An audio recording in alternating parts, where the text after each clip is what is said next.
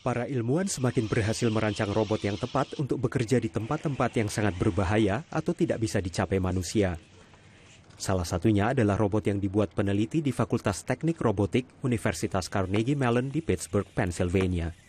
Robot ular dengan 16 ruas ini bisa masuk ke tempat sempit yang berliku, seperti pipa bawah tanah atau saluran di pembangkit nuklir untuk mencari kebocoran dan kerusakan. Menurut pimpinan tim perancang robot, robot bisa menjangkau banyak tempat yang tidak bisa dicapai manusia. being able to reach them will have an incredible impact on humanity, society. It's just a matter of, of characterizing, you know, where are these places you can't reach. Pasca bencana di pusat listrik tenaga nuklir Fukushima di Jepang, adanya robot yang bekerja di daerah beradiasi tinggi semakin diperlukan.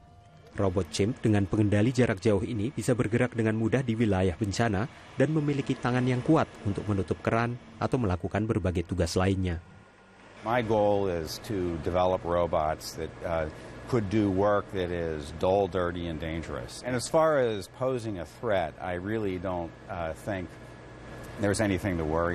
Kelompok lain di Universitas Carnegie Mellon sedang mengembangkan robot yang bisa menggantikan manusia dalam pekerjaan biasa di koridor panjang rumah sakit ataupun di gedung perkantoran. Untuk mengajarkan robot melakukan tugas yang lebih rumit, para peneliti membuat robot yang bisa bermain. Algoritma baru, robot pemain sepak bola ini bisa memprediksi arah bola berdasarkan prinsip dasar fisika.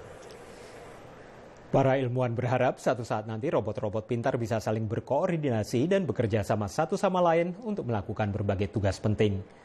Dari Washington, saya Helmi Yohanes dan tim VOA.